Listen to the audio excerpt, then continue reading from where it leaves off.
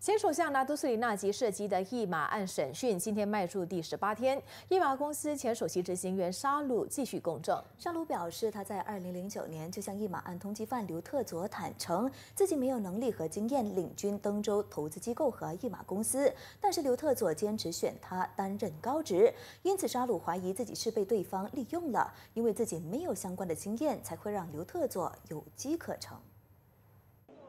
无才便是德这句话在古代常用来套在女子身上，但一马案头号通缉犯刘特佐却把这句话的用意套在了一马公司前首席执行员沙鲁的身上。